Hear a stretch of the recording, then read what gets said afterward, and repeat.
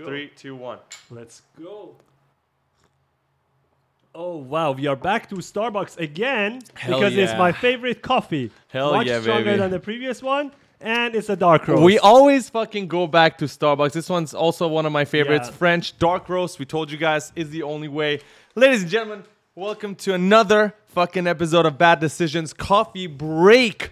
Farhad, how you doing today? I'm doing fantastic. I'm super excited for today's episode Yeah. because I think this episode is gonna be one of the best that we ever have. Oh my god, I'm so excited for it. It's it's something we've been thinking about. We've been planning. Um, it was supposed to happen yesterday, so we had like loads of questions ready. Um, and, and and we will talk about that in a second. But what we actually ended up doing yesterday, we were actually checking out Luma AI. Yeah. Uh, I don't know if you guys have checked out the video. So the the fact that you can now go on the website, upload a video from within a game or or a video of something that you do in your real life, and then turn that into a 3D model. We've been playing around with that for like the past couple of days. It's been crazy because we took the 3D model now that Luma AI created. We, we created a cinematic scene. We took it into augmented reality. The, the video we uploaded on our social. So if you guys want to check it out, make sure to check out our social media platforms for that video as well. Yeah, and and the last thing we're gonna try, they have a plugin for Unreal Engine, so you can bring in the NeRF into Unreal Engine. Haven't tried that out. We'll try it out and then let you guys know how that goes. But, But Faraz, do you want to tell us Yeah. who we have today as our guest? okay, yeah, you know, you you you already know I cannot fucking wait to get into this. We're not gonna waste any more time. Usually we like to banter a little bit, but let's just get it straight into this shit. Um. The guest that we have here today is not just an award winning motion graphics artist with nearly two decades of experience in television, film, games, and all that. He's probably the buffest dude in the CG industry, and there's no denying that. You've probably seen the videos on Instagram and Twitter. But aside from that, he's your favorite Unreal Engine tutor. And if all of that doesn't ring a bell, all you need is a shaka sign and two words, and that's what up, what, What up? up? We got Winbush here in the house. What's up, Winbush? What up? What's what up, up? Imbu? Appreciate you guys. How you guys? it's been a long time coming, yeah. Yeah, man. It's been a while. We're just so grateful to have you here and to hear that what up, what up. It's you know, it's it's it's fucking crazy because I feel like you've established that. So anywhere anybody hears that what up, What, what, up, up, what up? you know it's it's been bushes there. So It's crazy because I just got back from NAB in Vegas yesterday, and um, I had no presentations or anything set up this year. Like this is the first year I've actually gone to the convention and was just there to just hang out and chill and see some stuff. And everywhere I walked, all I heard was "What up? What up?" And I'm just turning around, and it's happening like every five minutes. so it's, it's crazy. Like you know, I definitely appreciate. It, it lets me know people are watching the content, which I really Oh, for appreciate. sure. Because Yeah. you know, It's my camera is here against the wall when I'm doing tutorials. I'm literally talking to the wall, so you have no idea who's watching on the other end. So I always appreciate it to meet everybody out there at these different shows and stuff. it's great. And but can you tell us where did that what up what up Winbush here came what's the story Yeah, behind that? Like Honestly, like okay, so when I was first in motion graphics, like I was working at like Happy Madison and Sony and Warner Brothers, and most of the time, all the artists are in a bullpen, right? And so Yeah. everybody's able to communicate. We're showing each other stuff that we're discovering, tips and techniques. And once I started my own studio here, Winbush Immersive, um, basically a solo artist, right? Like my company is myself. I no longer have that peer to peer interaction and everything. So that's when I started doing YouTube to share the tips and tricks that I was learning out there. And when I first started, I had no idea what I was doing. Like I was terrified to even put this stuff up online, but you know, people were like, "Hey, you should be doing this." And um, I think I was trying to figure out a good way to introduce myself whenever I come, you know, first with the tutorials and stuff. And out of nowhere, just like "What up? What up?" randomly just popped in my head, and I think I did it once, and I, I hated it, and I forgot to edit it out when I was going to edit. And yeah, like people were just start like people started commenting in the thing like "What up? What up?" and all different languages and stuff like that, and I was like, okay, now I'm onto something here. So it kind of just spawned by accident, but you know, definitely glad that it happened because it's I- I- become a signature that people just it's a enjoy. You know, now. It's Yeah. definitely a It's trademark. a Like Farhad trademark. said, like I think you've established it, and now if you don't start a video with that, it's gonna be a weird video. Everyone- like I'm, everybody I'm not like gonna watch the, that no, video. No, everybody in the comment would Yeah. be like, "Is, is everything okay? is that he okay? AI? Like, is that an AI generated video? Probably because that's not Winbush, man. That's not him. So I, It's- I think. Sorry, please go ahead. No, no, I was gonna say it was funny because um last year at NAB I spoke at uh one of the booths and I introduced myself without the what up and somebody in the audience is like, do the thing. So, Do the thing you came here to do. we, we, we Yeah. came here to watch that. We came here to watch that live. Oh my god! It's like Right. I didn't come here to watch anything. I just wanted to hear you say what a what a Winbush here, and I, I was I had to actually leave. But no, it's it's it's amazing. Like you, I think a happy accident, of course, but the fact that you made that a thing, I genuinely believe that is psychologically one of the best things you can do to establish yourself. We are definitely missing that. Oh, for sure. We need to. What would you recommend we should do? Should we, like, do you have any recommendations as to an intro we can do that people can stick with? Like, you probably have some ideas. You're like the master at this, right? oh man, I'd have to think about it. I mean, you guys have so much energy when I see your stuff on TikTok and stuff. It's like your energy's enough. So I don't I don't know. We'll, we'll collaborate. We'll think about it. Yeah, we'll- we'll- we'll think about that. for- yeah, I like 5% that. I like that. consultant fees. yeah, for sure. But Farhad, we gotta prepare that. Yeah. Hundred percent. But beside that, what I, what I Winbush is here, I think there is a consistent contents of you working out all over social media. Yeah. And that is something that is attached to your personal brand. And I think it's a great way to be recognized in all the platforms. So now I know that, you know, I'm connected more to Winbush because I can see him working out. We have something in common. Yeah. Where like where does that drive for working out comes from and I'll you know posting about it like Because it- it's not very common in the Yeah, CG for sure. industry. That's why I think we wanted to ask this question. Yeah, I mean, I was actually nervous about because I put the video out on YouTube first, just talking about like my fitness journey of where I wanted to go at the beginning of the year. Because mm-hmm. during the pandemic, you know, like all the gyms were closed, not a lot of people were getting out of the house, and I, even myself included, like I noticed a lot of people were gaining weight during this lockdown. It's like mm. either the one extreme or the other, right? Like people got extremely buff and ripped to the core during the lockdown, or they got extremely overweight. Like nobody seemed Yeah. to stay the same. But um, the thing that really hit home for me was like, you know, we're in our mid 30s, early 40s, and you know, a lot of us are fairly still young. And I had a lot of colleagues having heart attacks. They were having strokes no. while working, and it, it's a scary spot, right? Like we're still young and we're having these Mhm. health problems that we shouldn't be having. So Mm-hmm. that kind of put the fire under my butt and I wanted to put myself out there just to kind of be a catalyst for you're not alone type thing and Mhm. I'm going to expose myself and you know put myself out there and show you guys that I'm staying consistent and even if it only helps out one person at least you know it's helping somebody out there but it was um like you guys said it was I was nervous because when I first started posting videos, especially on Instagram, I lost a lot of followers. I lost like a thousand followers because people were DMing me saying like, "Are you a motion graphics artist? Or are you a fitness instructor now?" And you know, there was a lot of hate coming along with it, but mm-hmm. like genuinely, I was just trying to help people out there. And mm-hmm. even if you don't want to work out, at least do something to just better yourself because we're mm-hmm. coming out of a really dark age, and I feel like people need to take this stuff more serious. No, I, I, I, I gotta say one thing. I I encourage you to keep doing that, and we're big fans of the videos you're putting out, even the workout videos, because it's it's normal. I think it always happens. If you look at singers as well, when they change a genre of their music, they tend to lose followers. But what actually happens in the long term, if they keep doing it, they'll actually gain a much bigger audience and because more in depth. Like Yeah, you're more way depth. more connected to your audience now. And I want to thank you for really posting this because when people see that, they'll say, "Oh, Winbush is doing this video tutorial. He's doing Unreal Engine. Yeah. He's working out too. So maybe I, I can, do it that. too." yeah, I can do it too. And Yeah. also at the same time, I feel like the people who are hating, they they're coming from unfortunately probably a negative side of life themselves. And I I I, Right. I sympathize and I empathize with them. But generally speaking, you can be a motion graphics artist and still work out. You can be a motion Yeah. graphics artist and Yeah. post about cooking. Like that's the beautiful part. If you look at anybody who's actually huge on social media, they actually do multiple things. And and and that's the beauty because we're humans, right? We don't just do one thing. And the people who truly follow Winbush, will follow you because they would like to see everything that you do because you Yep. motivate them and you inspire them. So we're we're very happy that you decided to post those videos and we will continue to watch and support because we're gym we're big gym guys ourselves. We're definitely not Oh, as are buff as you.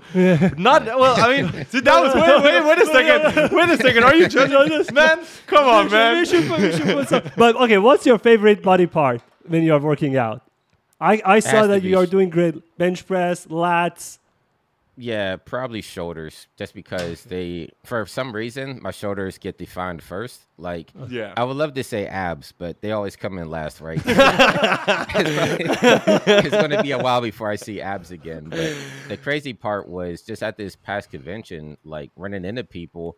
A lot of people are like, "Hey, Winbush, when are you hitting the gym?" So I'm like, "Shoot, hmm. we'll hit it 9:30 MGM Grand, and everybody want to show up." And I don't know if you guys seen the pictures, but there's a, a lot of motion graphics artists actually showed up to the gym to work out with me and stuff, and a lot of them are pretty diesel too. So it's it's mm. cool to see, you know, like more motion graphics artists and CG artists coming out of the shell, like they're workout buffs, but mm-hmm. they were, you know, scared to kind of show that side of themselves. But mm. you know, I think the more of us out there, just you know, at least preaching some type of health and fitness, I think the better mm-hmm. the community is for it. I absolutely agree with you, and I'm I'm glad to see more people are joining in. But speaking of Las Vegas, you just came from Las Vegas, I believe, yesterday. How was Yeah. the show? You went to NAB, you went to NAB, and and there's so many new upcoming technologies that they they showcased there. One of which I saw um, uh, posted about this guys and and Move AI. But I want to I want to hear it from you. What was the most exciting thing that you saw? I was going to say probably the Move AI stuff. Like I actually went Oh. over there, met Neil from the the UK team at Move AI, very cool guy. But they just uh, formed a partnership with this company called Disguise, which I have never heard of before. But what they were doing was they had a giant camera on a crane that was mm-hmm. connected to Unreal Engine, right? So you're mm-hmm. doing the camera parallaxing, you know, like the Mandalorian VFX stuff. But they added Move AI to that. So they had cameras all along the trace up top.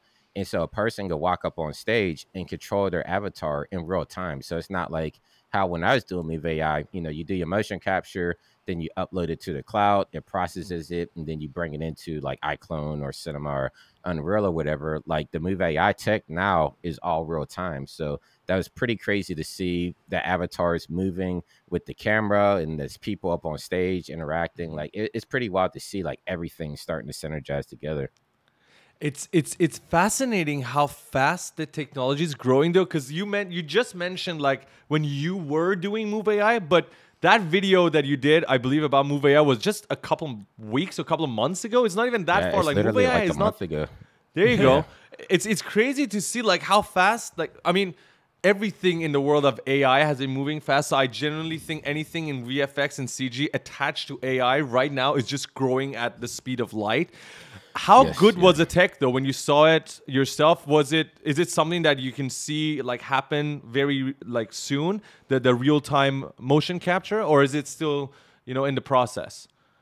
Yeah, I, I don't think they're going to bring it to the public right away. I think it's still maybe like a month or two off. But like you said, this stuff is moving at a breakneck speed. So I can see like the bigger companies utilizing it first, like your big TV stations, especially like for sports and maybe um, news stations and things like that. But I, it's only a matter of time before like it's going to get into our hands. So yeah, this stuff is it's tough to keep up with, especially everything regarding AI. Like I was expecting to see a lot more AI at NAB, but I think it's moving so fast that they were scared to show a lot of it. Like my last year, you know, like virtual production was the big thing last year, right? And it's like at NAB this year, there was a lot of virtual production. So it seems like the show's like a year behind. So I'm thinking like next year, it, everybody's going to be in the AI, but who knows where we're going to be at in a year's time, you know? Yeah, I, I can't wait to see that. And and there's so much to look forward to, especially in mocap. And hopefully, if you have time at the end of the podcast today, we even go back and talk about mocap because that's one of our favorite areas to focus on. But I think we want to talk about some other stuff as well. Yeah, I think uh, you have posted a video on YouTube recently where that you explained why you left Warner Brothers 11 years ago. That was such a fascinating and inspiring story for whoever hasn't watched this the video. Please go to Winbush YouTube and watch it. He basically explained why he left Warner Brothers and how he became a solo entrepreneur, joining, uh, basically going through his journey. I think Right. when you left Warner Brothers, of course, uh, many years ago, you knew that you had the technical skills that you know now you can do things on your own. But what about the non-technical skills? How because when you were in Warner Brothers, someone was doing your marketing, someone was doing your sales, someone was doing your accounting. All the skills that a person who wants to leave their corporate job probably wouldn't have as a technical guy. How did you Right. face those challenges and how did you overcome it? Yeah, a lot of mistakes were made, right? Like said, on, on the we art want to side, we want to you know, hear we want to hear all of them by the way like Yeah, yeah. tell us tell us some of the like the biggest ones the ones that stood out the most to you and were the most challenging Yeah, like um, well, you know, a lot of people know I'm here in the United States, so the tax thing was probably the biggest hurdle, like the tax and finance, because before that, you know, I work at studios, I was a freelancer, and a lot of that stuff really, like you just see the tax guy at the end of the year, right, and they will handle it. But once you become a business, the tax category gets so much more complicated, and I made a lot of mistakes with, you know, like trademarking my business and like signing up as an LLC opposed to an S mm-hmm. corp. And the first time I did taxes as a business, I got wiped out by the government. Like they, I guess it's because of how I classified my business. They just took a big percentage of my earnings and everything that year. So from that point, I was uh-huh. like, okay, I need to sit down with a tax person and really figure out what I'm doing wrong because I can't take this type of hit every year, or else there is no point in having my own business. And so mm-hmm. I would say for anybody looking to venture out, I'm not sure what the tax laws are in other countries, but I would definitely make sure your finances are good before you really dive headfirst into it because that's the type of thing that really bites you in the butt. But yeah, just as artists, it's like we think that we're good because we could do the art part of it, but the business side, that's a whole nother beast in itself. And so I know a person um even told me, they said I should at least go to like the local community college and just take like one class in business management because that's just going to help you really wrap your head around the stuff that you really don't think about. So did you did you end up doing that, or or were you taking maybe courses online or advice from friends? Because the business side of things as well is something that is very important. How do you deal with clients? Of course, you were already, uh, according to your video, getting clients outside of Warner Bros. when you were working back at home at night. Yeah. But of course, going on your own now, all you're relying on are those clients, and you know you have to sort of have that balance of negotiations. How did you deal with those? And I'm sure clients were sometimes maybe you know you have good and bad clients right so sometimes maybe Pushy they or were pressuring something, you yeah. how do you deal with that how did you learn how to get better deals and get you know your side of the deal and make sure it's a win win win for you essentially Yeah, so that's another. It was a hard lesson. Like at first, you know, when you're out on your own, like you said, all your income relies on the work that you bring in. And mm. so for the first couple of years, I was actually scared to say no to anything that came in, no matter how crappy the project is, right? And so I was burning myself out a lot. I was taking on too many um, clients at once, and there's a lot of bad clients in there too. And so what I started to do was I started to hang out with a lot of my clients a lot more, just in like social settings, like going to watch like the UFC fights or watch the basketball games and just really getting to know a lot of people if they were local. And a lot of those clients ended up just turning into like really good friends. And then the ones that were just bad clients, at some point I had to make a decision like, do I want to live happy and healthy or do I want to just keep taking these bad clients that are stressing you out? So I took a financial hit maybe for like a year or two because I wanted to focus only on the good clients. But once I really hunkered down and focused on those clients that made me happy and we had a good business relationship, word of mouth kind of gets around and they'll suggest you for other people because the industry is smaller than a lot of people think. Like these producers, they all talk to each other, showrunners and stuff like that. So mm-hmm. it took a little bit to build. So I would just say, you know, like if it is something that people want to pursue, it's going to take a little bit of time. You're not going to hit a home run right off the bat, but those relationships are definitely vital to, you know, you keeping your clientels and keeping yourself happy as well. Mm-hmm. That's an amazing lesson for Yeah. anyone who wants to start their own journey because I think the lesson that you learn when you're starting on your own is not about only like it's in every single aspect of the business. You will learn how to talk to people, how to do project management, you have to do your accounting, marketing, everything. So Yeah. do you say now that after I would say 11 years you have mastered all these skills or you, you think you're still learning as we are going now? Definitely not. Yeah, I mean, I'm the type of person. I just it, there's it's always a learning process, right? Mm-hmm. So I have a good grasp of what works for me. I could probably do definitely better, but you know, this everything's been working for me. And then especially doing the social media, which I know you guys, I, I see you all over TikTok and stuff. So that's stuff that like I have YouTube, but I need to get better at the marketing on like TikTok and Instagram and Twitter and stuff like that. So there's always more that could be done. And especially when I first started, we didn't have like these large social media platforms. Like, Yeah. you know, um, Twitter was around, but it wasn't used like it is today. It was more just a place where people just, you know, tweeted their thoughts and stuff like that. Like it really wasn't used for business.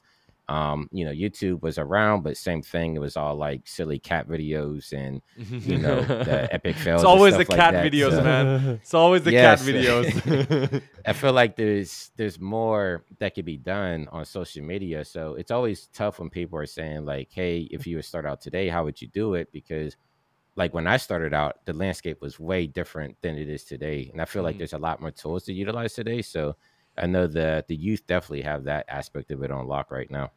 Okay, you you brought something up, uh, and I, I gotta touch on that. Given the wisdom that you have now, after all these years of experience in the VFX and CG industry, if you were to start all over again from scratch, uh, with Yeah. no education in, in the industry, and and let's pretend no money, because I know a lot of people watching this potentially they they they're just starting out, so money is a big problem as well how would you go about things?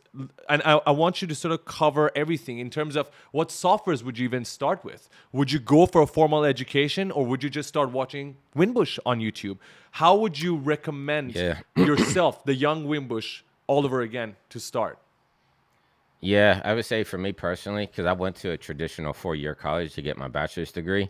Um, If I have today what I had back then, I would have probably did it online. Like I'm a self-learner, mm-hmm. right? So I felt like I could have probably learned the software through tutorials and forums and things of the like, and skip traditional college. I know I don't want to like tell people that's the right route to do because some mm-hmm. people learn better in a classroom setting. Like my kids, they're they're not really self starters like that. Like they they thrive better when they're around the teachers and they ask questions and they're around other students. And so I would say, like for me, I'm good online. I would um utilize the different schools like School of Motion online. They have some pretty good courses over there. Um, you know, my stuff on YouTube, of course. Know, I'm 100%. running to shameless plug just a little days and- shameless plug in there but yeah, I mean, there's a wealth of stuff. Even like you were asking about the softwares you would learn. Like I would number one, like I know I'm known for Unreal Engine, but I can't stress it enough. Like if you're a beginner and you're looking for work, there is so much Unreal Engine work out there right now, especially for designers that I'm getting hit up even by Epic Games. They're like, these studios are hitting them up looking for artists and they just can't find them because the talent pool is not out there. Like there's a large amount of people in the gaming talent pool that use Unreal, but they're Mhm. not really designers. They're more technical people, right? And so you have Mhm. studios like ILM and and Zoic and Perception, like these top tier places that are doing the big stuff you see in movies and stuff. They're Yeah. looking for Unreal artists. And so I tell people all the time, like, if you know Unreal, even at a beginner level, there's there's a whole plethora of work out there for you. So I would say Unreal Engine, number one.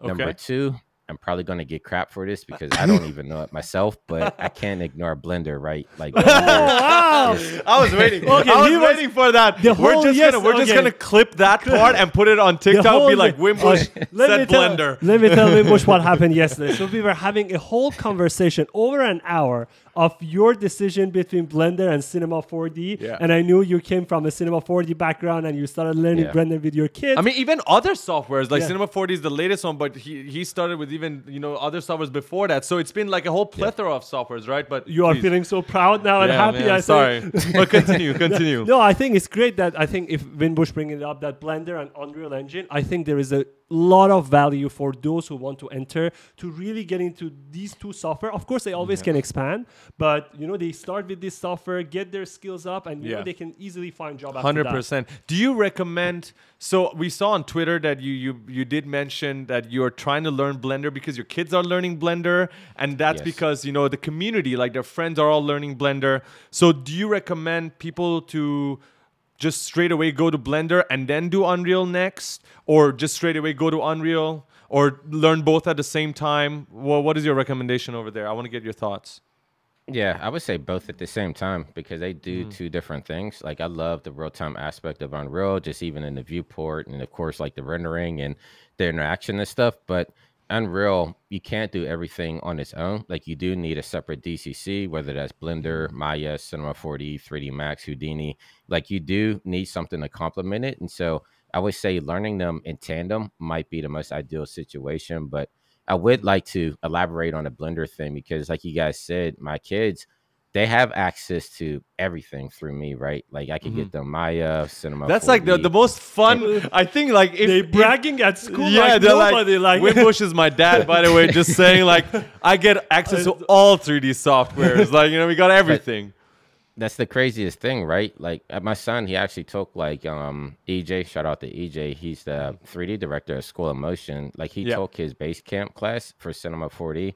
His stuff is amazing. When I when I went to check on my son, he was in Blender, and I'm like, "What are you doing? Like, you have access to Cinema. Like, I got you your own license." And he's just like, "This is what all my friends in school are using, and all my favorite YouTubers are using this, and this is everything that I'm seeing." So it's kind of crazy that generational gap because when I was coming up. Cinema 4D was looked down upon as a toy. You know, like when I first started working in the industry, mm. We had 3D Max was huge, Lightwave is huge, and here I am, a Cinema 4D user, and people are like, "What is Cinema? Like that thing is that, that thing's a toy. Like no one's ever going to take it serious." And then fast forward, now it's a big part of the industry, but now Blender is in that spot where everybody's like looking at Blender like, "Oh, that thing isn't. No one takes it serious. It's free. It's just for hobbyists and this and mm. that." But I've been seeing it being used in some professional things like um, there's some video games at Bethesda that I follow a lot of artists on ArtStation, and they've been using Blender to make the video game assets. There's been a couple of Netflix series, the full CG ones that will be using Blender. So it's definitely slowly starting to make its way in there. And I see in the next couple of years, I could definitely see it being a force to reckon with. So, uh, very like loads of stuff that you said there that we have to talk about right now. First of all, just an example, it's like when you were talking about your kids, it's like if I was at school and my dad was like, you should play Call of Duty, like, here, I got you Call of Duty, and all my friends are playing Roblox, I'm probably gonna end up playing Roblox, right? Like, That's what it's happened to me. Yeah, yeah. wait, really? Is Did that actually exactly? happen? No, absolutely. Like my kids, they're the ones that actually got me into Roblox. I didn't know what it was before. My daughter's up there playing like role playing games and all types of stuff. And I'm like, I got, you know, when systems first drop, I'm the first one to get it. Like I got the Xbox mm. Series X and, you know, mm-hmm. day one adopter. And I'm like, yo, we're going to load up. We're going to get Call of Duty. We're going to get all types of crazy stuff. And look at these graphics. Look how crazy they are. My daughter's like, no, I'll just play Roblox. I'm like, "Oh." and I'm looking at it and I'm just like, this thing looks like graphics from when I was a kid. So, yeah, it's like I didn't understand it, but just playing it with her, now I do. Because it's almost like it's almost like playing with Legos, right? Like these kids are building their own ecosystem, Yeah. and then they're Yeah. able to play them in a gamified way, which is really cool. But Mm-hmm. yeah, it, it's very. I learned a lot from my kids, to say the least. It's it's definitely a topic that again we're going to cover Unreal Engine, uh, Fortnite editor, which is exactly why this podcast is even happening because that's the conversation we were having with uh, Jonathan on on Instagram. But we'll get to that in a bit. Now going back to Blender, I'm going to be asking the century, the question of the century.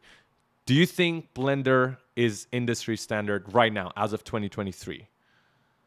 Yeah, I, I mean, I definitely do. Like, I don't even like the term industry standard because I Why come up in, I'm in a class of, I use whatever works for that particular job. Like, I mm-hmm. know I actually posted the other day that I was installing Maya 2024 because I'm working mm. on a project right now. That required that because the client gave me assets that were built in Maya. So it's like, okay, I mm. guess I'm doing this in Maya. so, you know, it's like, it's I- like I- fuck. I gotta learn the whole thing all over again just for this project. but that's the thing. Like I tell people, like once you know 3D and the basics of it, like you know lighting, compositing, um, camera work, and stuff like that. Like that stuff, that knowledge translates through no matter app, what, um, no matter what application you're using. And so their interface is going to be different. The way that it works is different, but there's a whole bunch of internet um, stuff on YouTube, like tutorials and stuff. So it's pretty easy to figure out. And so, like when people are asking, like, "Hey, is Blender industry standard?" I say yes because it could do the same things as all these other packages and a whole lot more. Like that, the way that it's being upgraded and implemented at like a breakneck speed. Like I'm, Mm. I'm really impressed with all the tools that I see coming out of it. So I would say it's capable of doing all the stuff that the other programs are doing. It's just if you're comfortable working in it or not. That's that's beautifully said, and I, I agree with you. The only reason I asked that question is because it seems to be the question everyone is arguing about on social media, especially like when you go to Yeah. TikTok or or Instagram. That's where people are like going crazy about this and they're taking sides. I personally started with Cinema 4D, but I only have like a couple of months in Cinema 4D, not that long. The only reason Right. I moved to um, to Blender is because at the time I was looking for specific tutorials and I couldn't find them. And the moment I, I like my friends were using Blender, so I switched. Shout out to Catalyst. I switched immediately, and everything I ever wanted, I found tutorials for. And then that Yeah. was like the that was like the the decision for me to change because I was like I need to find out about this shader or this specific texture and I I was searching it it was difficult to find it for Cinema 4D unless I would say like you went down the the school of motion path you know go for a, a linear sort of course that teaches you everything Yeah. I was sort of just trying to look for YouTube tutorials everywhere and I think that's the majority of people nowadays look for tutorials like that um, very much like how they find your tutorials the, the especially the random ones on on Unreal Engine 5 it's just I was looking for something like that and I couldn't find it with Cinema 4D. It was so much easier to find it with Blender, and I was like, okay, boom, I, I'm gonna make the switch. Very difficult for the first few weeks to get, you know, to adjust and adapt, but I don't regret it, especially because anytime I had questions, there's just such a big community answering questions and i felt like that's missing in other communities. Now i know that other communities have have so much other things that maybe blender is missing but that was just the one thing that attracted me the most. For blender and not to mention the one thing that winbush just mentioned um, is about how fast blender is up updating and upgrading itself with all the new things that are coming about. For sure. Now the the one thing that we just touched on is is the the tutorials that you guys are putting out. So one thing I, I, I want us to talk about is the role of YouTubers and YouTuber tutors and creators in general. But first, I want to ask you a question. Have you have you guys watched Everything Everywhere All at Once, the movie? I haven't, no. Okay, all right. You, you gotta watch it. It's it's it's. I mean, we watch it quite late. We watch it after he won the Oscars. But Okay. everything, everywhere, all at once. For anybody that doesn't know, it's gotten seven Oscars, including Best Editing, and with only a small team of six people that are responsible for nearly 500 VFX shots. Now, the movie itself is inspired the the bagel that you see in the movie, which is I would say one of the key elements in the movie, is inspired by Blender Guru's donut tutorials. That's what the editors were saying apparently in an article. And what was interesting about that is knowing how much of an impact tutorials in the VFX community can have. That was one example. I can vouch that you and your tutorials about Unreal Engine 5 has impacted so many people in the community to work in certain ways. So I guess what I'm trying to get to is how do you think the role of YouTubers and creators will change when they see that they have such a huge impact? Someone like yourself, for example. Yeah, I mean, it struck me maybe this past year actually. I did a um I was judging a contest for Rokoko at the beginning of the year, and one of the other judges was the VFX supervisor for Industrial Light and Magic. So, you know, he's working on all the Star Wars stuff that's on Disney Plus and he personally sat me aside and said like we're watching your stuff at Industrial Light and Magic to help us get through these Star Wars shows and stuff, like because they're using Unreal Engine over there. And I was throwing back. I was like, "No, you're just saying that." He's like, "No, dude." He's like, "Never take a full time job because we need you out there uh, doing tutorials for when we get stuck." And that that really struck home because it, I didn't realize how much of an impact it actually was having out there in the industry. And mm-hmm. then other people started reaching out. A person from NBC Sports reached out and said, like, "Hey, I took your Unreal course, and now I have a full time job at NBC Sports because this is the direction that they want to go, and I'm the only artist that knows how to use it." So they brought him on full time as like a creative director, and it's just it's it's heartening to hear because it's like you are making a difference in people's lives and also shaping where the industry is going in the future as well. And so, and when I first started this, it was just for fun. It was almost for me to just still have a voice in the community and communicate with other artists and stuff like that. But it's turning into something a whole lot more. And I wish more creatives would actually, like, I know not everybody's comfortable being in front of the camera, but Mhm. there's a wealth of knowledge out there that I feel is not being shared because you know people are scared to be in front of camera or they don't have the time or you know a lot of people are working so i get it they don't have a lot of time to do tutorials and stuff but i mean including myself but the way that i got through that was i set up my computer so if i figure something out then my camera's right here i click it on turn into winbush mode knock it out save it for later get back to work and then later that night i'll edit it together. But i feel like we definitely need more creatives out there because I'm not even the best one out there. I can't lie. Like there's a lot of really good artists, and I'm like, I have to wish you disagree with you there. show- I have to disagree with you there. I think you're definitely No. one of the best. I mean, like I'm being serious. Like we were talking about this when you look at Unreal Engine tutors. Like so many problems have been fixed because of your videos specifically, and and so Oh, thank you. have saved people loads of time and loads of headaches at 12 a.m. when they're trying to figure something out. So it's it's crazy that I just want to say thank you on behalf of us and behalf of the community because your videos Ah, are thank you. phenomenal. And where are the rest of those the the clips, man? The, the five, you did five episodes. Where are I- those Where where are the rest? We We're are waiting here for episode that. Six, seven, eight. Are, are you still gonna continue the? By the way, for anyone that doesn't know, we're talking about the Unreal Engine Five Beginner series that you did, which were phenomenal. Five episodes. Are we gonna have Thank you. more? Um, possibly. That brings me to a good spot right here. So I actually collaborated with School of Motion. I don't know if you can see this. There you go. I have a QR code. We announced it on the show floor at NAB, but I have a brand new course coming out next week for CG artists getting into Unreal Engine 5.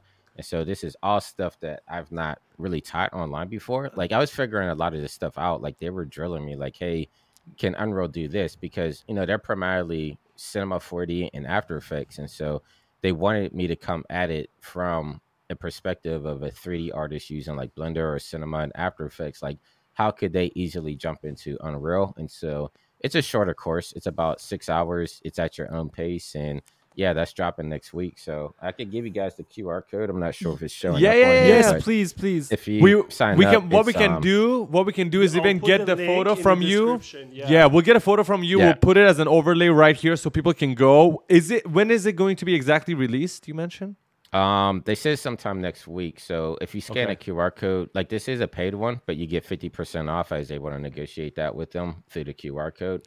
but um, I know with me, free education is still something that really true. It holds true to my heart because mm. when I had my last course a couple of years ago, a lot of people in other countries wanted to take it, but they couldn't afford two hundred dollars. Like that's mm-hmm. you know a couple months worth of income for them, and so that's a big reason why I released that five day course that you guys are talking about because mm-hmm. I wanted everybody to have a chance to at least learn in some capacity at their own pace mm-hmm. and everything. So I'm still going to do the free education. I actually met with Epic Games at NAB. That was pretty much mm-hmm. the biggest reason why I decided to go because um, we hosted an event to talk about some of the new tools that are coming out and mm-hmm. they're geared towards motion graphics artists. So I would say it's a combination of Cinema 4D with the mm-hmm. I don't- I don't know if I can see all the effects, but it's a combination of Cinema 4D and After Effects all wrapped into one game engine under Unreal. So it's Wow. um it's going to be a big game changer, especially for people in the broadcast space. Like they changed the entire interface for artists, and so if you're used to working in like After Effects, like layer base and stuff like that, it's exactly going to be like that. So Wow. it's coming out pretty soon. and um, I think that's what my next course is going to be on. Like I'm trying to negotiate with them because um, you know, when Fortnite Creative first came out, they had that series called like Your First Hour in Fortnite Mhm. Creative, and so I want to be the one to do Your First Hour in Unreal Engine Avalanche, and so that's what I'm trying to work on right now. And of course, that will be free online. But yeah, that's the next the next series that I'm hoping to pump out. We definitely are looking forward to that. We will be number one watching those tutorials all the time. I'm Ah, glad he didn't say it's out right now because I would have left this fucking podcast. I'll be on my computer watching that shit. It is. First of all, everybody watching, you guys heard it here first because I don't, I haven't heard Yeah. of this. So thank you, Jonathan, for sharing that. Yeah, that- um, we're gonna we're gonna cut this up, share it with the world. Yeah, thank you. We appreciate that. We didn't know about that either. By the way, we don't script anything on this podcast aside from like our own questions, and and Jonathan wasn't even aware of the questions we were gonna ask. So this is all fresh stuff to us. Um, I just want to say one more thing about the, the the free education and the tutorials that you're putting out and why they're they're so important because I don't know if you notice it because you're the one putting them out, but as someone who's received it on the receiving end, a lot of people have this urge to try new software, especially Unreal Engine 5 now, because like the, the the flashiest, the, sexiest thing, fanciest, you know, and, yeah. and rightfully Yeah. so. And you're always looking for that like breaking point because you're always giving yourself an excuse like, ah, I want to start, but I don't know where, I don't know when. And then boom, when you release something that is so simplified, five episodes, very short, and I'm gonna teach you everything. You're gonna learn how to go around the software, you're gonna learn world building in a very simple manner.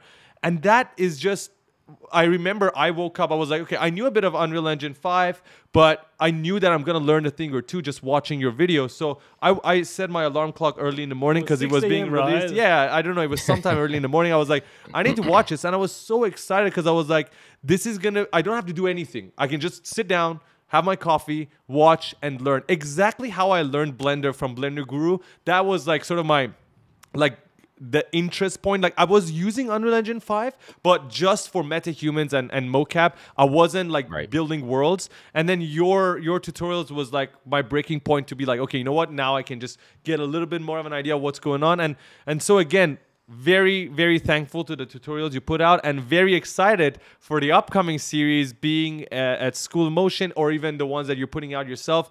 Everyone look forward to that shit.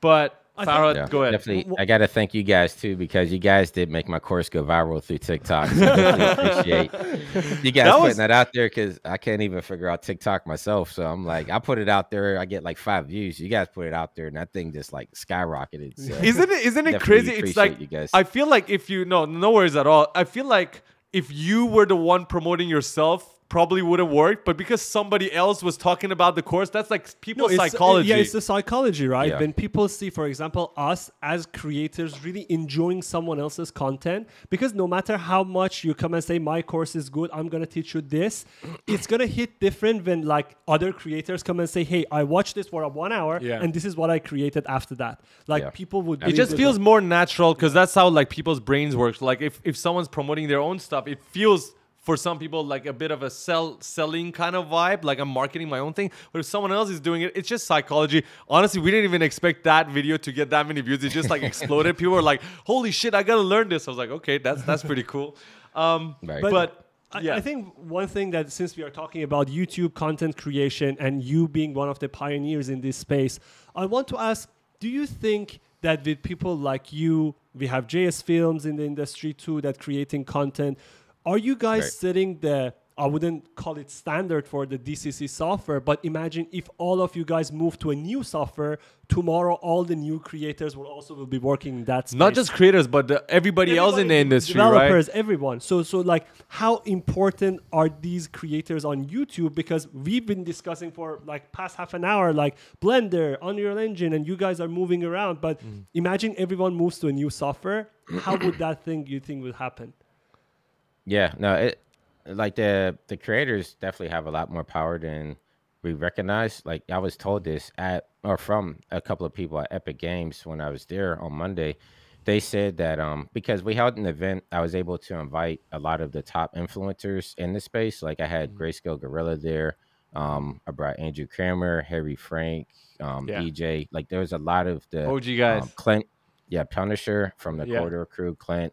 Like a lot of us were able to come speak to Epic Games, and they told us that like we recognize that it's because of you guys that people try out these softwares and Mm-hmm. we want to keep working with you guys to move this stuff forward. So it's like even at the company level, they recognize like you can make the the biggest badass product that you could take, but if it's not for people like us and even yourselves like pushing it and showing people what can be done with it, then it's just going to sit there in the dust. Like you need people Yeah. making cool stuff with it. You need people promoting it and really showcasing what could be done with it. And so I've even had people call me like the Andrew Kramer of Unreal because like Yeah. Andrew Kramer, you know, like he really amplified After Effects at the time. Like, you know, people were using it a lot in the industry, but he really brought in a strong Mhm. interest from people outside the industry for Adobe and After Effects in that regard. So I mean, just one person could really make a big impact for if a software moves forward or just kind of stays in the dust.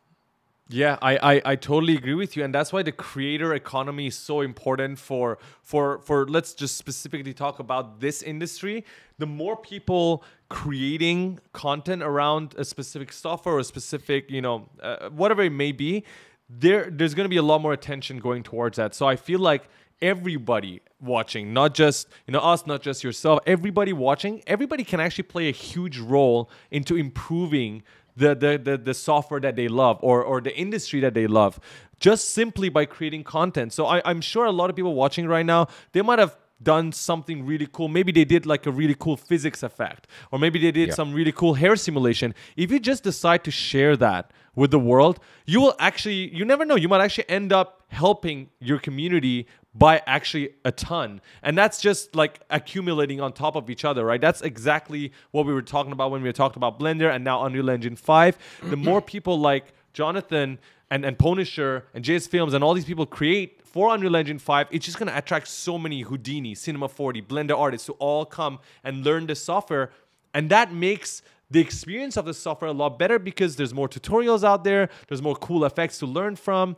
And I just think that's genuinely what I recommend. If anybody's comfortable at sharing their work, I think they should be because it just helps the community grow so, Yeah. so much. Now, And these software companies are listening too. Like I, Mm-hmm. I have a really close relationship with Epic Games, of course, and then also Maxon as well. And Mm-hmm. Yep. I've been there when they're watching stuff like on Instagram and YouTube and they're seeing the stuff that could be done and it is making an impact on they're like, hey, this person is doing it Mhm. this way. Maybe we can make their lives easier if we implement these tools in there so they don't have to go through like 50 steps just to do a hair simulation or something like Yeah. that. So these companies are actively watching what everybody's doing. And I would just say the more you can put your stuff out there, the better it is. Because if they see like a lot of people are having problems with hair simulations, then they need to, or they know they need to go back to the drawing board and say, like, hey, how can we make this easier for the artists to be able to implement this so more people are able to do this? So it's definitely one of those things where it's a give and take on both sides. Do, do you think like these companies like Epic Games and Adobe have to have a structured strategy for getting feedback from creators like you or, or how, how does it work like do you go back to them and say that hey i think there is a problem with in this area or there is a lot of demand in the other area is it you going to them or they are coming to you It's um yeah, how do I answer this without Batman? okay, so I'll I'll speak to the Epic Games side of things because Okay. they're they probably the most artist friendly company that I've ever had like the pleasure of speaking with, right? Like they've actually mm-hmm. reached out to me on several occasions and said, Hey, we're looking at, you know, like adding motion graphics in here. What would you want us to do and make this easier for artists? And also, can you put us in contact with other artists that might be interested so we could get feedback? And they actually did. You know, we had a big Wow. email chain going. We're exchanging ideas back and forth. And a lot of that stuff they showed on Monday to us, they implemented a lot of the, you know, requests that we put in there. So it's like they're listening. wow Um, some companies listen better than others, I would say. um, Maxon is pretty good about hearing us out. The people over there at Cinema 4D, Red Giant, um, they're pretty good. Um, do you think yeah, this I'll had it at that. direct impact? Okay. But do you think this had impact? Because okay, we see that a lot of Unreal Engine content is coming out of you. Do you think that comfortable relationship that you have with Epic Games and that feedback loop impacted the content that you're creating? absolutely, because if they ask me for something and then they implement it, then I turn right back around and share with people like, hey, these are the updates that have come out and you know, it's it's a good healthy relationship back and forth. And then even with like the Epic Mega Grant, like they're like, hey, we want you to keep focusing on making education tutorials, whether it's for Unreal or stuff related to Unreal. So we're going to help fund you so that you don't have to take on so many client projects and you could just be a pillar for the community out there. So I definitely do have a lot of love for Epic because I feel like Mhm. they are. I mean, they're a big corporation, right? But it seemed Mhm. like they are artists first. Even you know, just even on like their marketplace, like I think they only take twelve percent of the sale and they leave Mhm. the rest to the artist. And so there's a lot of that. That going says a on where lot. It seems That like says they're a lot. Yeah. Yeah. it Uh, does. you you brought up the Epic Mega Grant, and I'm sure at least some of the people watching, either being developers or creators and artists who are working in in Unreal Engine 5 and would like to be able to get funded.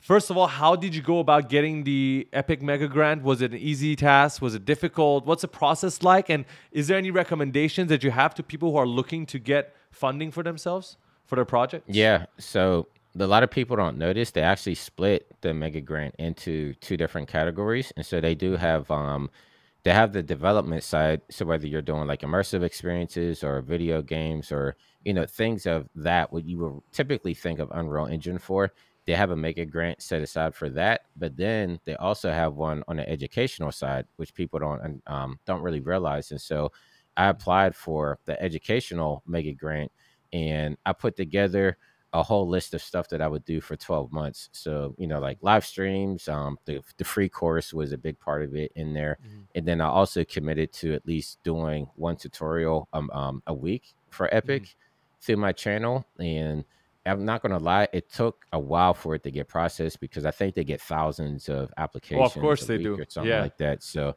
it actually, I got accepted for the mega grant a year to the day from when I applied for it. So Mhm. it's like maybe a couple of months in, maybe like three months in, I did get an email saying like, "Hey, we're still reviewing your application." But on my side, I didn't wait to get the mega grant. I was like, okay, I was going to do this stuff anyway, so I'm going to keep pumping out the free education, keep attending these conferences, and you know, just doing what I do. And I think they actually saw that and they recognized and it was like, okay, this guy's true to his word. And so Mm. I think that's why I was able to get the mega grant. But yeah, everything that I applied for was all education and community based. And yeah, it's been um it's been cool because then I got to be even more in depth with the Epic team once I really Mhm. start to get talking to them and stuff like that. And I feel like that relationship only grew because of the mega grant and me applying for it and them getting to really know me and everything.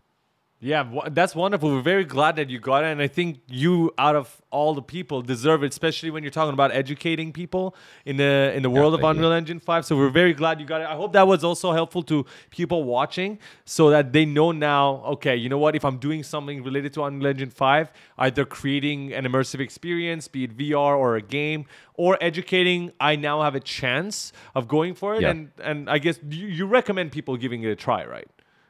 Absolutely. Even the people um, at the Mega Grant, they always say they want people to apply for it. But mm. I know, and I guess I could give up this secret here.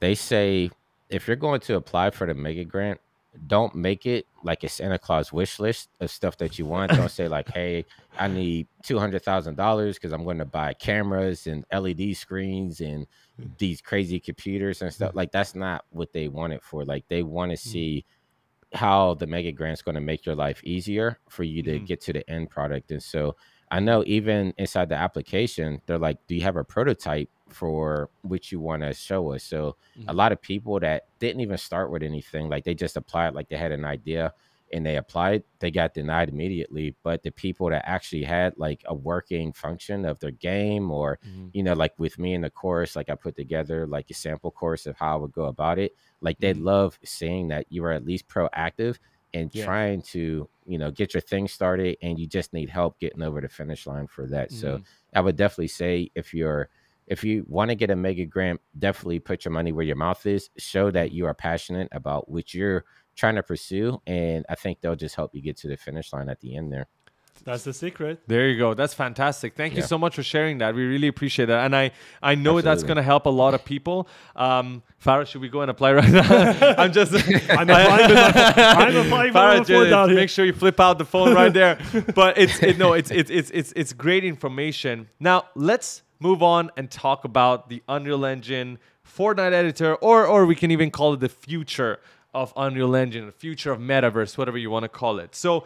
Um, Yeah. I'm just gonna give you guys a little bit of a backstory. We posted our reaction about the Fortnite editor, and we were amazed by it. Of course, it's it's huge. Knowing how, because we're gamers as well, so knowing how big Fortnite has been for the community, how much people love playing that game, right? And and now Unreal Engine or Epic Games bringing and up essentially upping the game of the the creative in Fortnite and essentially allowing now developers and artists like ourselves and the people watching to be able to now use Unreal Engine or at least a stripped down version of Unreal Engine to create anything in the world of Fortnite. Now, when we posted our reaction, there was As a hate usual. comment. There was a bunch of hate comments, and I'm gonna read Yeah. one to you. It was it's normal. And usually it happens on TikTok. I don't know why we get a lot of hate on TikTok Because people don't connect that well on TikTok. They're just scrolling through, so they don't mind just saying Yeah. shit if they want to. Whereas YouTube, they're like connected with you. They're watching you for a long time. I've, I, at least I feel like that's why. I don't know. Yeah, I- I They're just less so too. merciful on TikTok and Instagram. You know what I mean? I was like, we are, we are saying that, oh my God, you have now more opportunity to make money, to create, and people are like, oh, this is shit. I'm They're like, oh, hating. yeah. So this this specific person, I'm not gonna name them, uh, but they they shat on us by saying Garry's Mod did this first, and it's been there for ages. There was other comments like this, and I mean, no disrespect to Garry's Mod, we didn't even say anything about Garry's Mod. We didn't disrespect anybody, and I understand. You know, there there has been. Uh, games like Roblox. This is exactly what Jonathan you Yeah. mentioned in our chat that Roblox has been doing similar stuff, and we never compared and say, "Oh, like this is the first time anybody's doing this." It's more of what we saw is the capabilities that Unreal Engine has and the user base that Unreal Engine has, and now the developers and and, and creators are motivated because of the whole creator economy to Yeah. create for Fortnite and the player base that Fortnite has all together. But you know, these are just our thoughts, our reactions. I want to get your thoughts on this comment specifically of like, oh, these guys did it first. There's like a copy, and also, what do you think is the difference between the Roblox and the Garry's Mod versus the Unreal Engine Fortnite editor?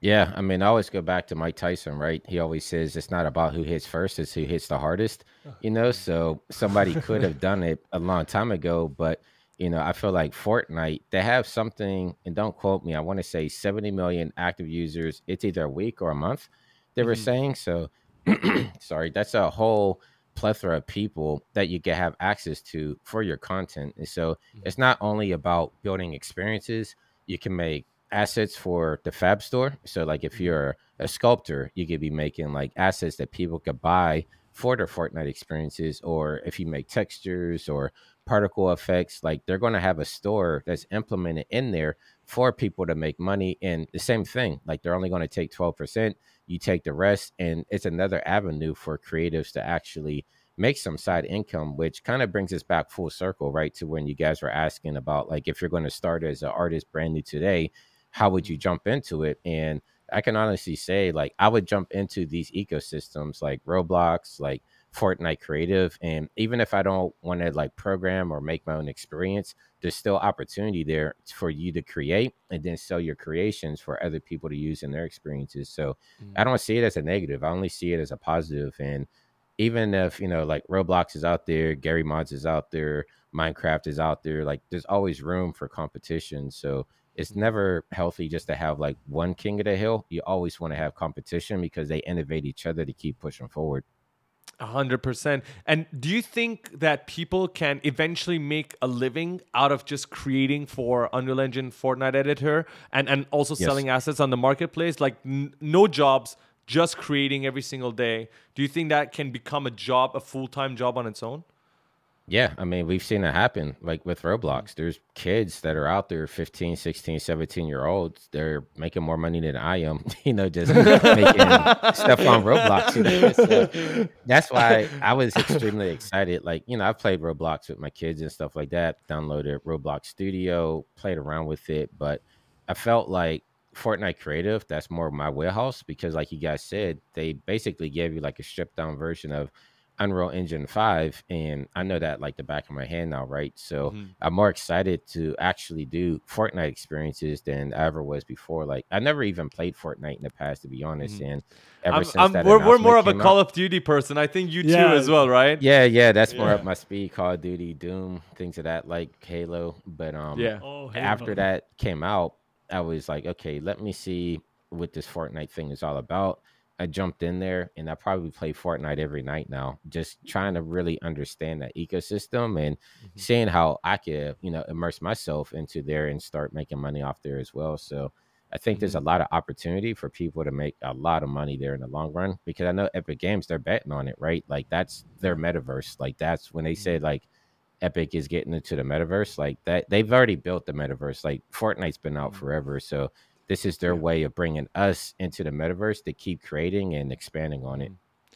I mean, a, a very stupid but simplified version of this whole concept is like comparing TV and social media. On TV, you need to have producers and, and, and storytellers to come and create shows for people to be entertained and watch. Whereas now social media allows everybody to create. And this is exactly what's happening. You had games where the game developers had to create the games, and now everybody can create games, right? And again, and you it's get so been much diversity when that happens, right? Every Yeah. person is a creator. You get different different cultures in there, different aspects, different point of views, and mm-hmm. it's and I think it will grow much faster Yeah. because it's not one point of view anymore. It's mm-hmm. like now everybody is able to create. A hundred percent. And and and and even sorry, please go ahead. No, I was just going to say, even like I keep going back to Roblox, but you look at a lot of people there that would have never had the time of day to create a video game because of AAA publishers or whatever. And it's mm. just, it's hard to get into, right? But they built mm. their experience in Roblox. And now a lot of those people have built their own IP to where they mm. got like merchandise deals, they got publishing deals, they got books, they got all types of crazy stuff. Like there's a game on there, I think it's called like Bad Piggy or something Mm-hmm. and I was at Walmart and I actually saw like those characters from that game as action figures. They're on book bags, they're on notebooks. And so it's like now people will build their dreams and their experiences and then they could take it outside of that as well. So, like you said, like a lot of times the doors have been locked to us in the past in television and movies, but with like YouTube, people are making their own like they're like, okay, I can't talk to Warner Brothers to get this produced. I'm going to put it out on myself on YouTube. They make like a billion views and then the studios start coming to them so it's just a way for you to amplify yourself and really take a bet on yourself you know Yeah, no, a hundred percent. And I want to talk about your own experience using uh, using this software, specifically creating for Fortnite. Um, I think you've already played around with it a little bit. What are your thoughts on using Verse? I I mean, we're no we're not developers. We we don't really know that much coding. Farhad knows a little bit. I don't know that much coding. So knowing, I believe at the time that we are speaking now, there's not blueprints that we can use. Instead, you have to actually code it in using Verse. What do you think about that? And uh, are we getting that even right? Because we don't have much experience with it. I want to hear it from you. no you're right so the coding platform for fortnite creative is called versus it's um something like yourself like i'm not really a coder myself like i could do a little bit of blueprinting in unreal but coding isn't really my my background there and so there's stuff that you can do that's automated and unreal if you are inside of fortnite creative but it's like if you really want to hunker down into the nitty gritty and you know make stuff that's not automated like you want to code it yourself you do have that option there. I do know that they said that as they're expanding on fortnite creative because this is still beta version 2.0 they're going to start making it easier for to have um almost like templates you know so it's like if you want to instead of writing the verse code for open this door or flick this light or whatever like they'll have that as like an automated or automated template and so i think as we push forward and everything and people are actually making their feedback known in the forums and stuff like that that the verses is going to be more for the hardcore programmers but anybody's still going to be able to go in there and make their own experience of their liking Yeah, hundred percent. Uh, now, Jonathan, we're reaching the one hour mark. I just want to know your time. Are we cool to have another ten minutes? If if you're cool with that, I just want to make sure. yeah, just a few more questions to go for. yeah no i'm fine nobody's hit me up yet so Oh, good to yes. go. Okay, let's do this.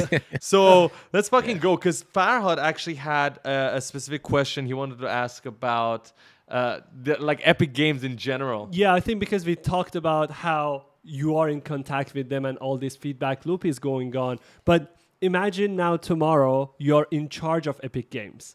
What changes would you make to make the software better? And who better than you to be in charge of Games? Yeah, I mean, it's almost like like I'm no programmer, right? So I can only be Yeah. an idea guy over there. Mm-hmm. But I feel like I know for me personally, and this is stuff that's actually being worked on, but just making stuff more artist friendly. Because you know, at the end of the day, Unreal Engine is a game engine, and still mm. you still have to go in there with like a, a game developer mentality. I know that's been a mm. big hurdle for a lot of people, just even navigating this stuff in there. It mm-hmm. does have a certain way of thinking, and so I would just go in there and make it more friendly for people that do want to make the jump into Unreal for whatever reason. It's a mm-hmm. little bit more recognizable. So if they're coming from Blender or they're coming from Cinema 4D, they're not having to jump these hoops of I'm used to navigating in this system and now it's totally different. Like I would just try to make it as friendly as possible for other mediums to jump in because at the end of the day, especially with Unreal Engine 5, they made it known that they're not just a game engine anymore. Like they want to break into Hollywood, they want to break into the automotive, they want to break into ArchViz and things like that. So it's more of a multimedia platform now than ever. But to be able to bring in all these mediums, you have to cater to the people that you're trying to bring in. And so I know it's easier said than done, but that would probably be my focus if I was over there. Mm. so Epic knows now if Tim wants to get retired, Winbush is the best choice to, to take over. Winbush as CEO. Let's go. We're gonna be making it more artist friendly. Um, we we we definitely agree with you on that. I think. I mean, the, the software is just great. There's no like big problems or anything. This was just a fun question we were thinking of asking you to see what you would change, and knowing that being making it artist friendly, that is definitely something that every software can do as well. I think like if you can Yeah. make your software more um, user friendly. For example, when I was so I used to be on Premiere Pro and now I'm doing DaVinci Resolve. When you open Yeah, DaVinci same here. Resolve, yeah, there you go. Okay. You go. A lot of people Yeah, have yeah. made that fucking Okay, switch. now right? now if I put this on TikTok, I guarantee a lot of there's hate gonna be a lot of comments, hate. But There's gonna okay, be- but it's okay. But it's okay. it's just I mean there's there's there's there's pros and cons for both software, but making the switch, I remember correctly, if I remember correctly, DaVinci Resolve tells you if you're coming from Premiere Pro, we can like change your shortcuts, and I found that to be Yeah. fascinating, right? Like the Yep. moment you see that, it's like saying we're not insecure about our software. We know we're great. If you're coming from Premiere Pro, we don't we're not afraid of mentioning their name. Yeah, yeah, there you go. Like we give you the Premiere Pro shortcuts just so you can use the software better. I know, for example, some softwares they won't even mention the other guy's name because they they, Yeah. they want to keep it competitive. And you never truly win if you're like that. And that goes across the board for anything, even as creators, as YouTubers. I feel like if you're just always doing your own thing and you're closed off, that's that's when you're you're there's always going to be a cap to you. But when you're open to collaborate, when you're open to talk about everything, so with softwares, I generally agree with you. I think that will be uh, the, fan, the, the the best way to go about it. Quick question. DaVinci Resolve reason to move was it color grading like many people or what was the the specific reason that you moved out? No, I was banging my head just trying to edit my YouTube tutorials because I have the creative suite, right? So that was, I mean, honestly, like I'm not an editor, so I had access to Premiere, and so mm-hmm. that's why I started editing with it. But for my tutorials, I like to film them at 4K and at mm-hmm. 60 frames per second, just because I feel like I, I want to film at the highest resolution possible. I mm-hmm. feel like the frame rate at 60 FPS just make it a lot more smooth and a lot more manageable for people on the other side to see it. Maybe I don't know, some people like 24, but I think 60, especially as a gamer, I just always found it to be smoother 100%. for the frame rate. But um, trying to do 4K 60 FPS in Premiere was just like trying to. I don't know. It's like watching paint dry. Like I would import it. It was have problems importing, and then I'm trying to edit, and I couldn't edit it. So I had to make man. proxies and all this stuff, and then you would get that sheep sound because everything just crashes, and I'm just like, there there has to be a better way. And funny enough, um, I'm filming. My my camera is actually a Blackmagic 4K camera that I bought, and it came with the um, professional version of DaVinci Resolve, and so Mm-hmm. I'm like, I have it. I'm also give it a shot, and I brought in a 4K 60 FPS clip that I did, and it ran it beautifully. Like Yeah. no problems, no hiccups. I didn't have to make proxies or anything. So at that point forward, I'm like, okay, th- this is it. This is what I'm going to be using, and yeah, I've been.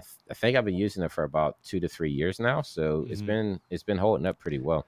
It's it's I, I totally agree with you. I mean, we we we made the switch. We're happy, you know, especially with the color grading part. It's it, everything ab- uh, about the software just runs smoothly. I love the tabs at the bottom. It makes it so simple. Okay, you're just gonna jump to the next section now. You know, it's like very linear in terms of like what you gotta do to export your video.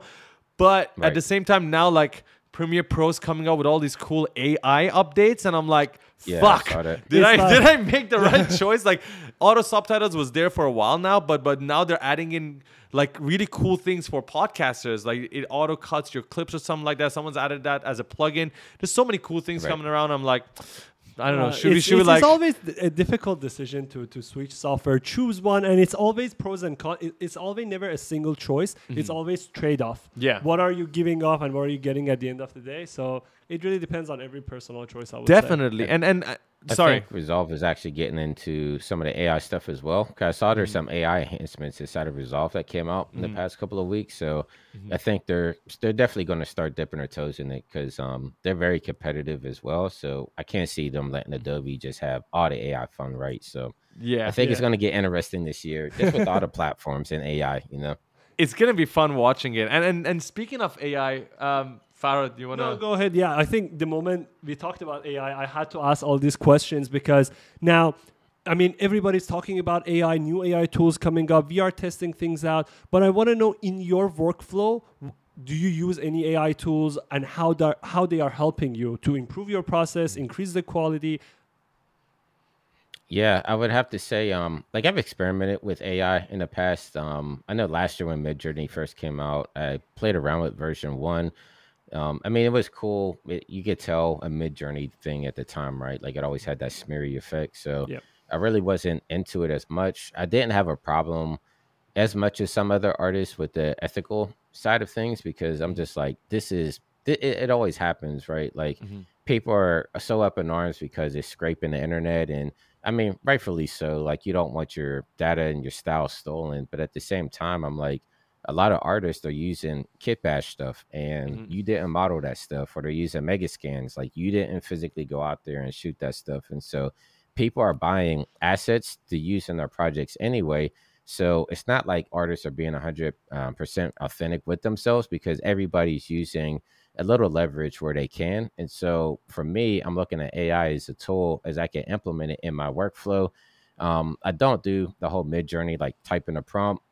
Oh, I made this dope image and post it up online because it, I, I don't know, like that stuff I'm kind of weird about. But Yeah. I definitely love the stuff like um, Blockade. I just discovered Oh, a yeah. couple of weeks ago, and making like 360 HDRs, and then you could bring that into Unreal and kind of build on top of that, or even just use it for lighting. Like HDRs were something that um, I use a lot inside of my workflow. So Mhm. having that type of capability, I think, is cool. And then you know we talked about like Move AI. Like I love the the AI motion capture, whether it's Move AI or Rokoko moves and stuff like that. Like.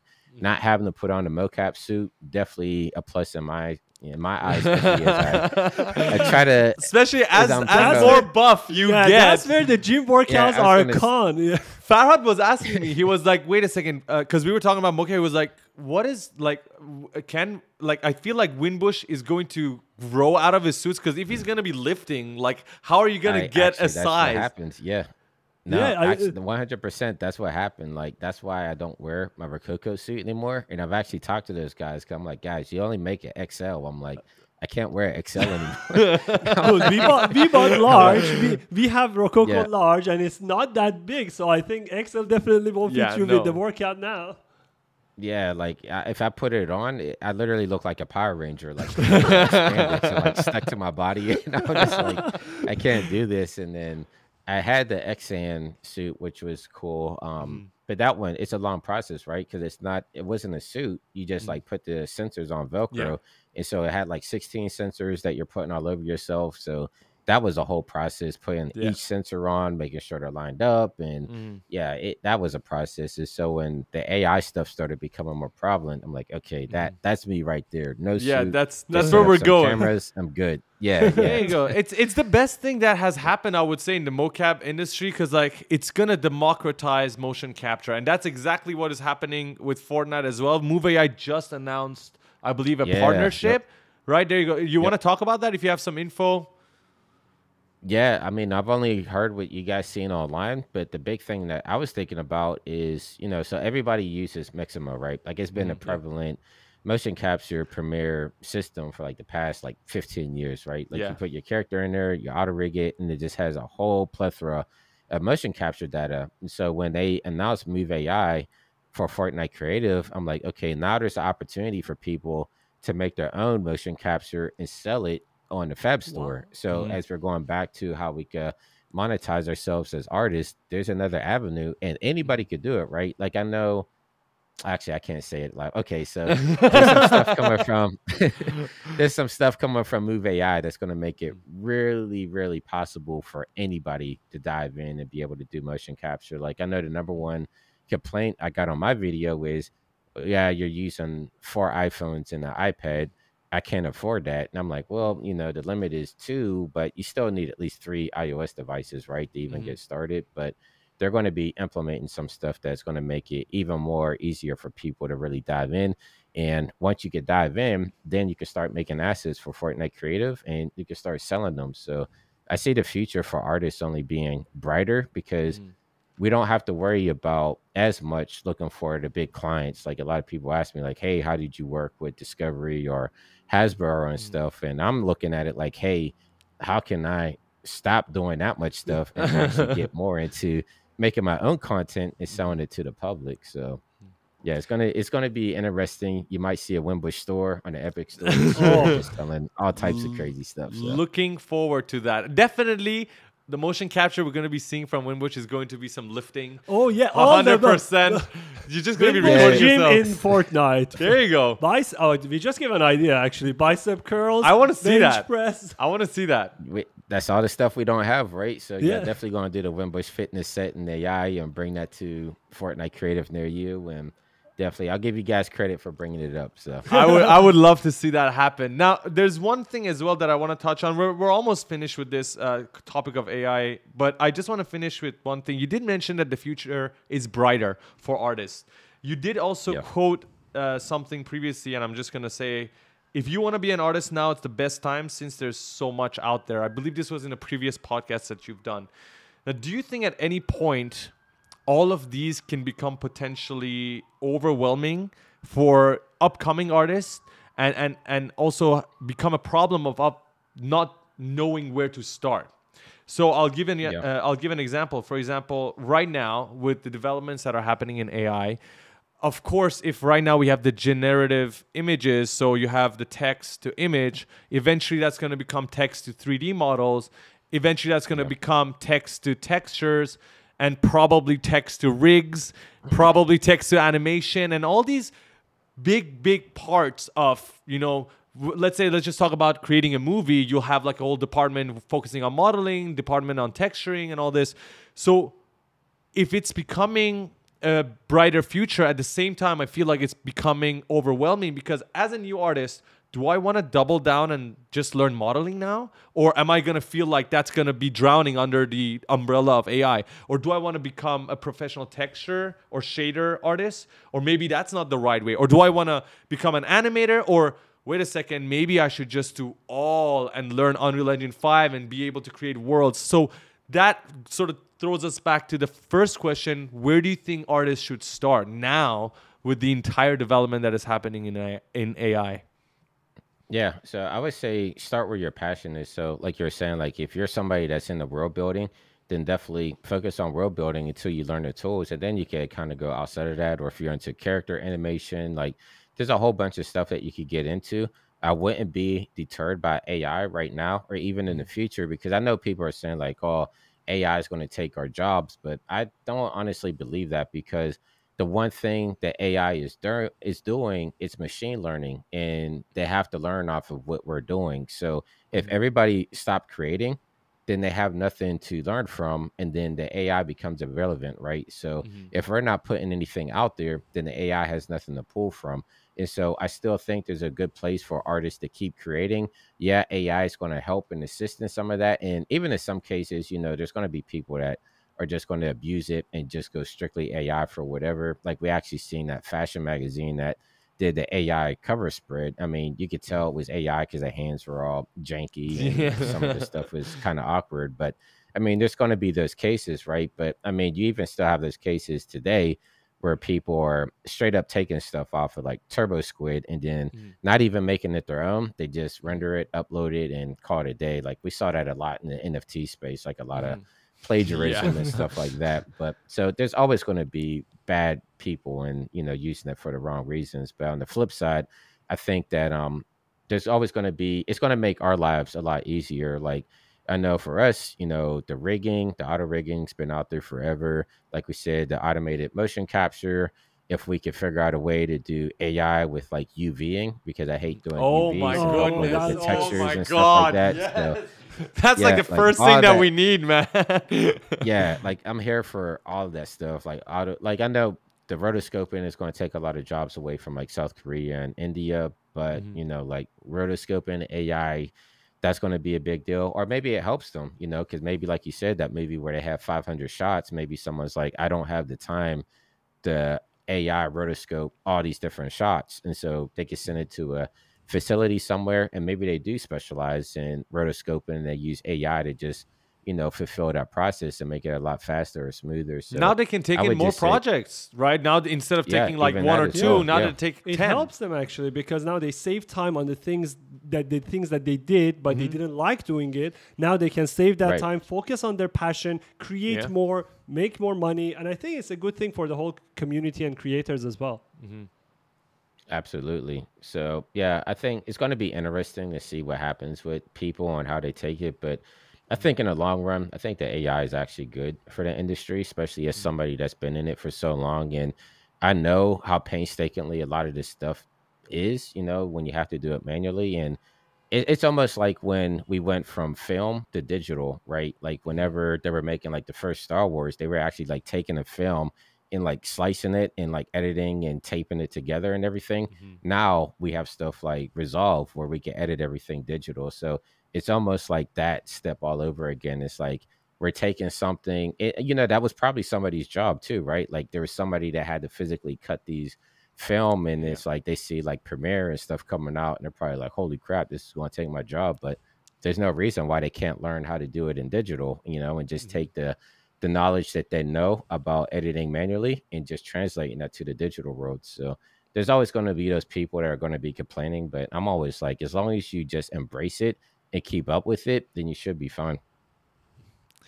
I honestly wouldn't put it any other way. I think we we'd love to hear your take on this because it's so relevant and and related to how we think about this whole situation. We talked about this almost with every guest on the podcast, and I just love Yeah. to see that the the concept of knowing that this is happening. What am I gonna do about it? Right? I'm just gonna I'm Right. gonna focus on improving myself. I'm gonna use it to help me, and I'm gonna use it to improve myself to get better and quicker and faster and create more. And anybody who decides to do that, I think, is going to win. That's that's that's where I think we agree. But that was what I wanted to ask you for AI Fire. Do you have anything else?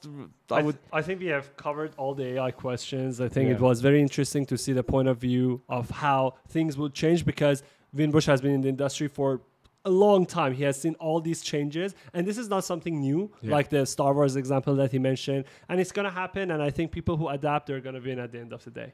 A hundred percent. I- Please. Yep. I was gonna say I've I've been that guy that um like when I when I first started, there was these systems. They cost like half a million, quarter million, called like Flint, Flame, and Smoke. They were made by a company. Well, they used to be Discreet. Now they're Autodesk. But these systems were basically what they used before, like Cinema 4D and After Effects, and they cost a lot of money. Like I said, they were like half a million dollars.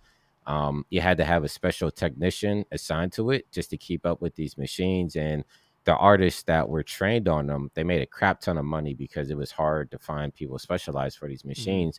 And then here I come, this kid knowing After Effects and 3D Max's cinema, and I could do the same things that they're doing at a fraction of the cost. And I saw that turmoil that was there, and they would always do the same things to try to compare, right? Like, oh, this isn't the future, like this is a high end system, and blah blah blah. And then they see the renders that I'm producing and the studios are like, why are we paying a quarter million for these machines when the software is only a couple thousand dollars and you know, mm-hmm. there, there was that toss up there. So it's either those people had to like get with the times and learn the softwares of the time, or they could keep complaining and lose their jobs, you know. So we're starting to see that happening again, even with the real time stuff, right? Like I mm-hmm. remember when I first brought real time up, it was 2019.